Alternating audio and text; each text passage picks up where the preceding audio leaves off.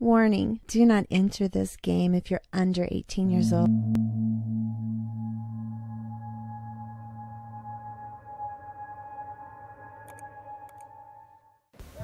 Este que veis aquí es David, David Gallego, 23 años, la mala influencia en persona. De hecho, hace poco que salió de la cárcel, en Melilla. Los largos años que pasó en ella lo endurecieron como a una roca. Pese a conocernos desde que éramos pequeños, nunca nos ha contado nada de su vida. Se podría decir que no es el tipo de persona que te gustaría encontrarte en un callejón los viernes por la noche la clásica persona con la que no quieres cruzar la mirada por miedo a que se te lance encima con un pañuelo con cloroformo y te secuestre.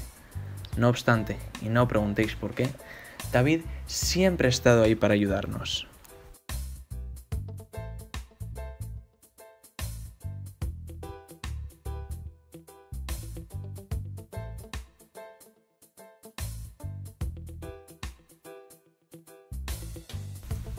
¿Sabéis ese tío al que por la calle las señoras siempre miran de reojo por miedo a que les atraque? Pues ese es Sergio Cucala. Tiene 18 años, pese a la cara de prepuber de mierda que lleva. Es seguramente la persona con la sangre más sucia que conozco. De hecho, vive literalmente rodeado de basura. Me sorprende que pueda seguir levantándose por las mañanas sin ningún tipo de enfermedad, pero no, no una de esas cualquiera, sino de esas que te dejan chungo para toda la vida. Sergio es el típico chaval del que te dicen de no acercarte cuando eres pequeño, pero en realidad es un buen tío y uno de los mejores amigos que tengo.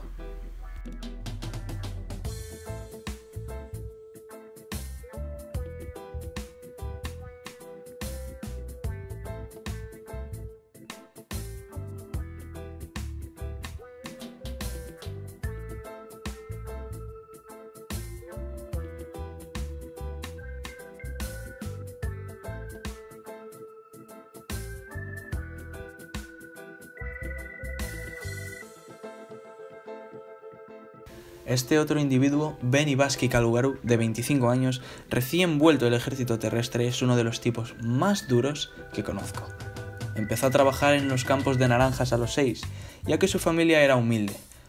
Los trabajadores quedaban impresionados con la increíble fuerza del niño. Nos ha salvado más de una vez en el barrio, y siempre está bien tener una mano más para los problemas serios. Bueno, más que una mano, un bíceps de 9 kilos. Peso a esto, Benny es un trozo de pan y muy leal con sus amigos.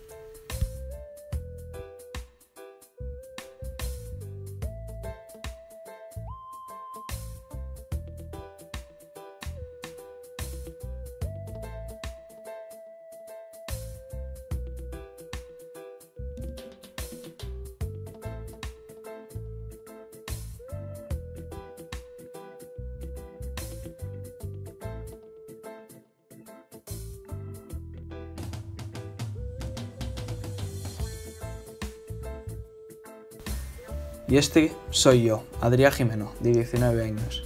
Pese a llevar toda mi vida en las calles, no suelo meterme en líos, si eso son mis amigos los que me meten en ellos. Por ejemplo, recuerdo un día en que David nos involucró en un atraco, o aquella vez en urgencias cuando Sergio nos pegó sarna, o aquella otra en la que Benny se enamoró de una chica que conoció por internet y resultó siendo un peligroso delincuente sexual. Personalmente, desde pequeño, siempre se me ha conocido como alguien muy soñador, aunque perezoso. Papeleta es que he cambiado de opinión.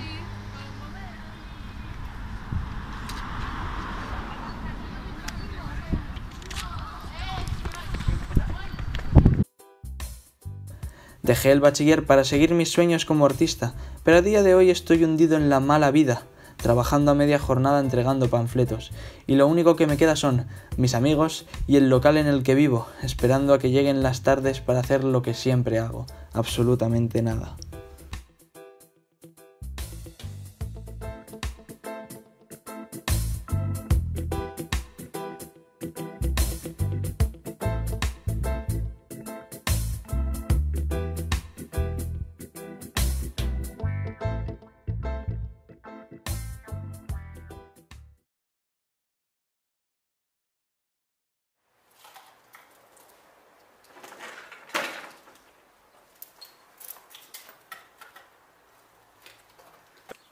Estamos. ¿Qué haces, tío? Aquí buscando una merienda potable, tío. Joder, qué puto asco das. ¿Cuánto hace que no duermes siquiera con esa cara de mierda que llevas? No sé, tío, como tres días o así. Me llevas una cara de mierda que flipas, eh, te lo Ya, digo. tío. Que no tocará ir arriba.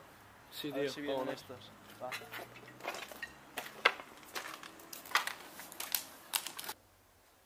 Buah, tío.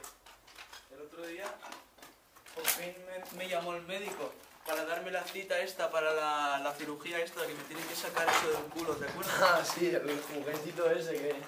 Sí, sí, pero Puto poca asco, gracia, tío. ¿eh? Que, estaba todo guapo, te lo digo. ¿Cuándo pero lo que llevas ahí, cabrón? No sé. Pero se me quedó ahí como por mucho tiempo y ahora estoy en la puta mierda. ¿quién me han dicho que David trae algo guapo, no? Sí, es verdad. De, de él me imagino lo que sea, la verdad. Ya, espero que no nos haga daño. Sí. Espero que no traiga una, una rata muerta o algo así, no sé. Como aquella vez, ¿te acuerdas que dijo que nos la comiéramos? Sí, qué puto asco, chaval. tío. Fucking bitches. ¡Benny! ¿Qué hacéis? Nada, tío. Aquí lamentándonos de nuestras vidas de mierda, como todos los putos días. Ya ves, siempre igual. Siempre que vuelvo de trabajar y llego a casa, me, me digo a mí mismo, al día siguiente me buscaré un trabajo decente y una casa decente y algo bueno, ¿sabes? Pero siempre acabo en el mismo sitio, tío, aquí sentado. Tíos, yo creo que necesitamos una buena fiesta con chicas guapas, claro.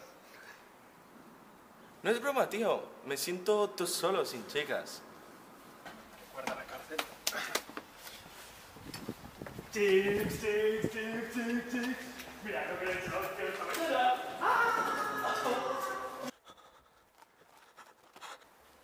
¡Hostia, tío! ¡Tú guapo! ¿Y eso qué es? No sé, tíos, pero un pajarito me ha dicho que esta mierda te hace volar hasta el quinto Slavey. Esta mierda es buena. ¿Qué haces con eso, tío? ¿Pero estás loco? ¿Qué te pasa? ¿A que te meto una hostia?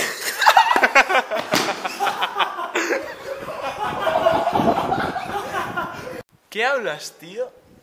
Tío, que sí, que sí, que eso hace que se te caigan los dientes, que escuches cosas raras, ¿no? Tío, qué susto malo. Benny, ni te rayes, que la vida es muy corta y está para vivirla. No me toques. Eh, tíos, ya sé. ¿Qué os parece si vamos a mi local y montamos la fiesta del siglo? Que nos lo merecemos, ¿no? Sí, sí. Picaporte. Estaría guapo, ¿eh? ¿Vamos? Vamos, vamos. Va, tío. Tráete las setas, coño. Eh, que va, tío. Pensaba que estás Madre ahí mía, todo todo- porrado, tío. ¿Qué cojones? Siempre, igual- siempre igual, ¿eh? Te lo digo.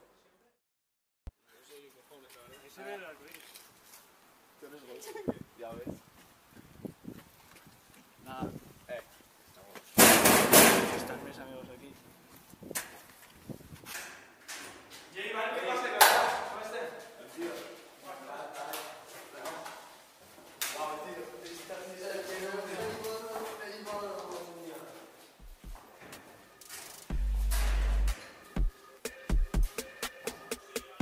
¡Que empiece la fiesta! You are now listening to a Bobby Johnson Yeah, beat. hey, I like lean, I like drugs, I like beams, I got plugs, what you need, no, no funds, what you bleed, oh, you tough, heard my raps, they like, nah, now they ask what my price, I'm like, no, out of sight, I'm like, yeah, out of sight, I might stay, MIA, I yeah? I might go, MIA, I yeah? I might stay, MIA, I might go, shit, stay away, I got low on my face, all these clothes, but no babe, I got hoe out of state, I got weed for the low, I don't pop fucking Zans, I might pop a Norco, we ain't with no bullshit, we ain't around no bullshit, we ain't with no bullshit, we ain't around no bullshit, fuck. I'm really around no fuck shit. Nice day. Nice day.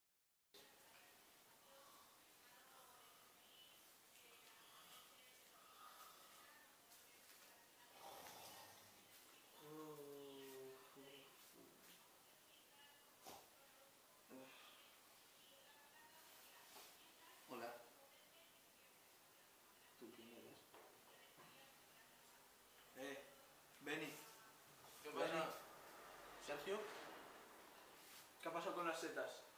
Yo ni las probé, tíos. Yo tampoco. David, traíste las malditas setas. ¿Dónde coño está Sergio? Joder, la hemos cagado, tío. ¿Qué pasa, tío? Lo de ayer fue brutal. Ven, tío, vamos a picar coche, corre, que tenemos que encontrar a Sergio. Pero, que no está Sergio, tío, que no está Sergio. Que no está Sergio.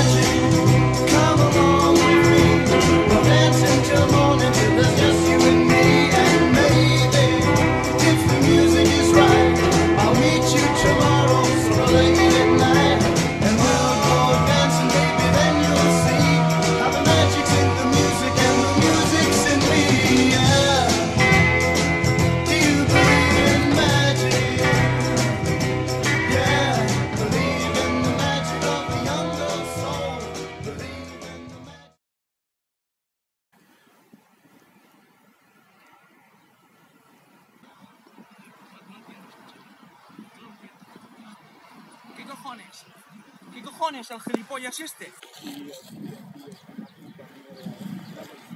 ¿Cómo que qué le ha pasado? Se ha comido todas las putas setas. El gilipollas, cógelo. Nos vamos. No vamos, no vamos a repetir esto otra Creo vez. que se veía. Ha, ha salido muy mal esto, ¿eh? Ha salido muy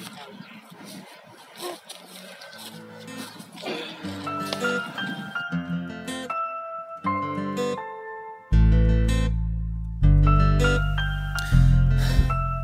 Al final, supongo que todo acabó bien. No esperéis que fuese a pasar nada fantástico, ni fuera de lo normal. Viene a ser una historia más en mi vida, que he decidido compartir con vosotros. Con esta anécdota, quiero que os deis cuenta de lo mala que es la droga y lo mucho que deteriora. Que sepáis la importancia de rezarle a Jesucristo antes de iros a dormir, de lavaros los dientes y de comer verduras. Esta es nuestra historia.